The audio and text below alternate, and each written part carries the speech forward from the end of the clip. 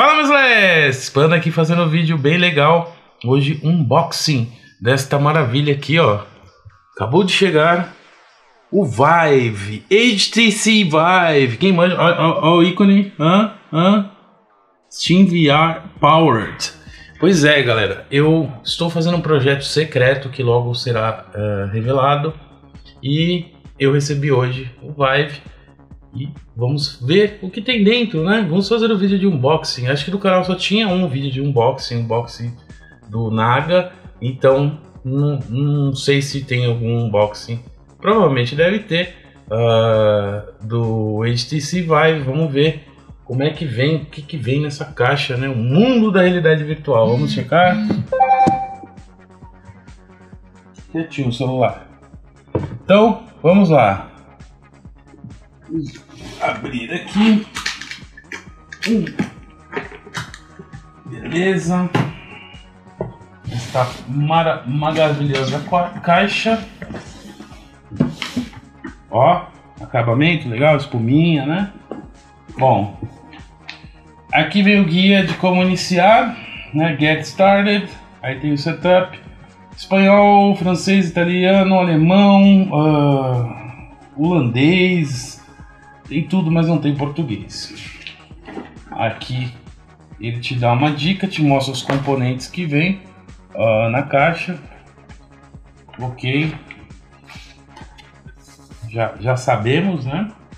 Uh, primeira coisinha que a gente vê aqui, deixa eu dar uma, uma geral para você ver, para vocês verem. Aqui a caixa, tá?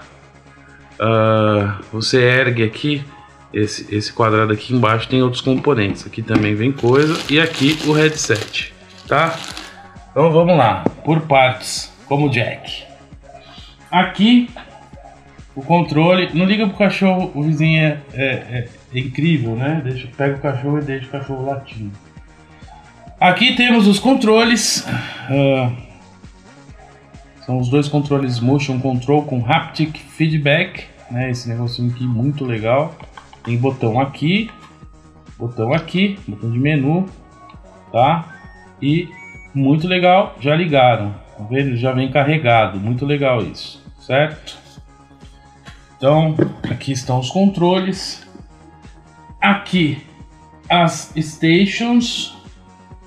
Essas estações são o segredo do Vive, né? Ele é o mais avançado dos das três, né? Dos três de, de, de dos quatro, né? Porque tem o Gear VR também, mas a gente não leva em conta. Então, entre o Oculus Rift, o HTC Vive e o PlayStation 4, esse aqui é a solução mais avançada, né? Isso aqui, ele, você coloca ele em diagonal, assim, uma parte na sala, outra parte no outro canto da sala e mede a área.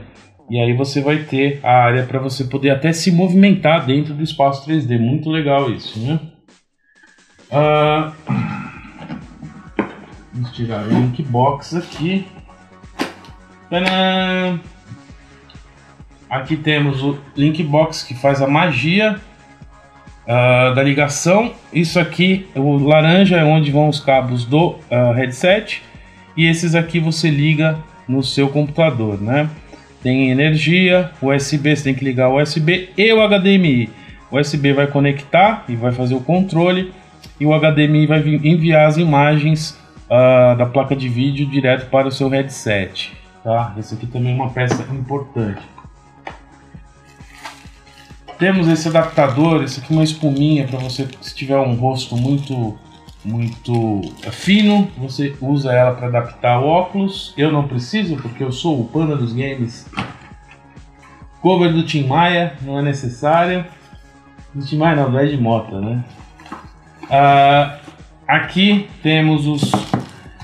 Galera, nesse, nesse aspecto tem que ser bem sincero, né? Bem complicadinho de montar ele, não é uma coisa simples. Você vai lá e não é que, igual Kinect, que você vê tem vários cabos, cabo USB, cabo HDMI, uh, ah, carregador, tem o carregador do próprio uh, do próprio dos próprios controles com aquela basezinha, né? Que você, você vê USB, mini USB.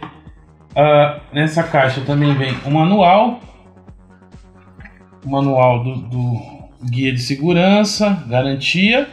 E esse aqui é um medidor para você medir a sua, a sua a distância entre as suas pupilas, para você poder regular uh, o óculos. É bem legalzinho. Isso aqui você usa de frente no espelho. Coloca isso aqui e aí você vê a distância entre as pupilas e legal. Beleza? E vem essa basezinha aqui, essa base para você colar uh, o link, né? Você cola na mesa e ele não vai ficar escorregando. Vou guardar isso aqui. Isso aqui eu não vou usar agora na montagem. Aí a gente tira a espuma aqui. E aqui vem um monte de outras coisas também. Uh, inclusive, esse aqui são as bases, tá? As bases de montagem, onde você vai colocar essas caixas aqui. Deixa eu abrir aqui para você ter uma visão melhor. Você parafusa e ela é telescópica, né? Você consegue telescópica. Você consegue mirar ela, né? Você ajusta, é bem legal esse, esse, sistema. Você pode até parafusar, ele vem com os parafusos. Isso achei legal. Você não precisa comprar nada à parte, já vem todo o kit completo, tá? Uh, e você coloca as bases no, na sala em forma diagonal, tendo seu espaço aí para você poder uh, ah, para você poder se movimentar, tá? Outra coisa que vem nesse aqui Aqui são outros cabos USB, cabo USB, carregador, né? Esse carregador de USB dos, uh, dos controles também. Aí temos aqui a fonte da caixa, né? Como eu falei, você tem que ligar a caixa ali, o Smart Box que vai fazer o, o, o Link Box que vai fazer a ligação do PC com o óculos. Aqui mais carregador, e tem um cabo aqui, um extensor de fio para. Acho que é para fone book. É opcion, é, é, ele diz que é opcional para fone book. para headphone é opcional, tá? Não, não é necessário isso aqui. Isso que eu vou deixar aqui também. Não vou usar na minha montagem. E por último, mas não menos importante, aliás, é a parte mais importante do equipamento. Uh, aqui está o, o óculos, tá? Você vê aqui, ó, ele tem uma câmera que se você tem, tem uma, uma forma de você observar o como tá ao redor, né, de você, sem precisar tirar o óculos, se você quiser, ela capta, ele, ele usa também no sistema de posicionamento. Esse aqui é o controle de distância intrapupilar, né? Você mede, como eu falei aqui, você ajusta, tá? E aqui uh, dentro a gente tem as lentes, ele tá com a proteção. Eu vou tirar só um pouquinho pra gente ver. Olha só, as lentes. Você vê que essa tecnologia, né, juntamente com a tecnologia da diminuição da latência, é que faz com que Será que dessa vez a realidade virtual decola? Vamos descobrir, né? Uh, isso aqui a gente coloca para proteger, não pode entrar sujeira, lógico, né? Isso é extremamente importante. E aqui a gente tem as tiras, tá? Tem o velcro aqui, você pode ajustar. Uh, visualmente, assim, por design dos três óculos, eu acho esse o mais feio.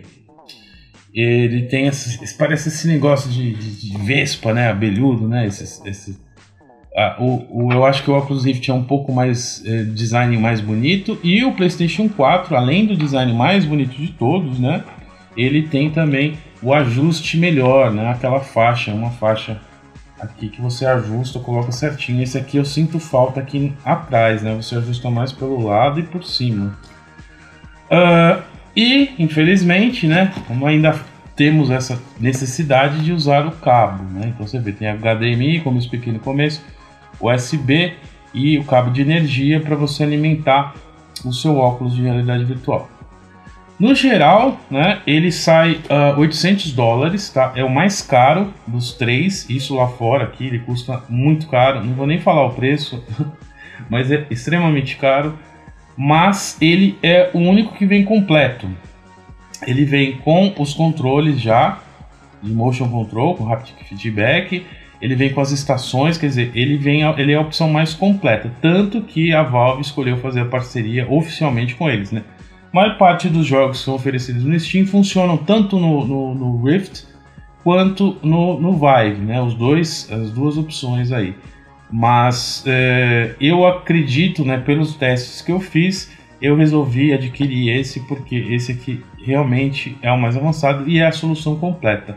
E o que eles chamam de production value, né? O valor de produção. Eu acho legal esse. Você vê, a caixa é bem feitinha, ela tem os locais para você guardar, espuminha, né? Coisa, eles não economizaram para fazer. Eu achei isso bem legal.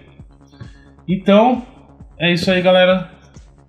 Esse aí é o HTC Vive. Uh, como de esperar, né? Vai rolar alguns vídeos aí de jogos de VR, algumas análises aí no canal e também teremos a estreia do super projeto secreto Top Secret. Não posso falar, não posso revelar ainda. Quando estiver pronto, vocês vão saber em primeira mão, tanto aqui no canal do Panda dos Games quanto na TV Ilha do Sol, programa Multigames. Uh, todo mundo vai participar aí desse projeto. E é isso aí, mãos à obra, né? Agora é a parte chata, ter que montar realmente é um trabalhinho, né? Os outros são mais fáceis. O, o Oculus Rift você coloca a câmera na frente, é um pouquinho mais complexo. O PS4 você já usa, né? O Move, as câmeras do Move. Esse aqui você tem que montar mesmo, então é um pouquinho mais complicado. Porém, eu acredito que vale a pena. No final, ele dá a experiência melhor dos três. E é isso aí.